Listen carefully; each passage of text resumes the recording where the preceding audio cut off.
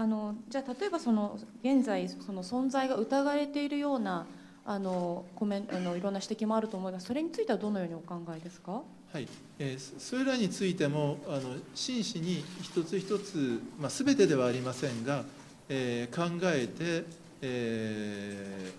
ー、その反証仮説になるかと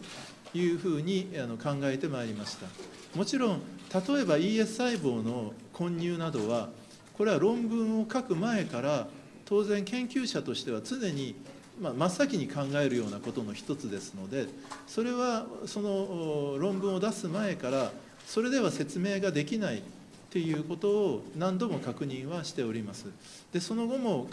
先ほど申しましたように ES 細胞の混入では、まあ、あの説明ができない面が非常に多いと。で今それ以外の反証仮説でえなるほどと思うもの。例えば、え内部細胞界の初期の細胞を小保方さんが取ってきて、えスタップ細胞だと言って入れたということは例えばもう細胞のサイズの大きさが極端に違うことから